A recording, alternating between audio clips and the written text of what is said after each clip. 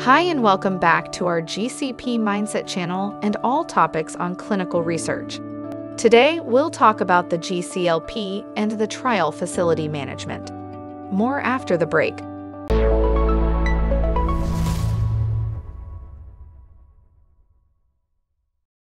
The trial facility management is the individual or individuals within an organization who is responsible for ensuring that the facility operates according to good clinical laboratory practice as defined in the document.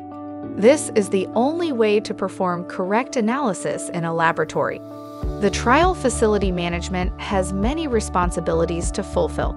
At a minimum, the trial facility management should A. Ensure that qualified personnel, appropriate facilities, equipment, and materials are available. B maintain a record of the qualifications, training, experience, and job description for each individual working within the trial facility.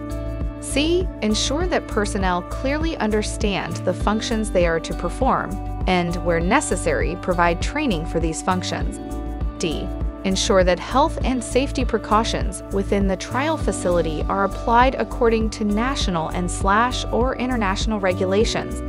E Ensure that appropriate standard operating procedures are established and followed, and an historical file of all standard operating procedures is maintained. F. Ensure that there is a quality audit program with designated personnel. G. Ensure as and when appropriate, a program of quality control is operated within the trial facility. H. Ensure an analytical plan exists, which defines the analyses to be performed by the facility. This instruction may be included as part of the trial protocol. I. Ensure that any amendments to the analytical plan are agreed to and documented. J. Maintain copies of all trial protocols and analytical plans. K. Ensure that a sufficient number of personnel are available for the timely and proper conduct of the work. L.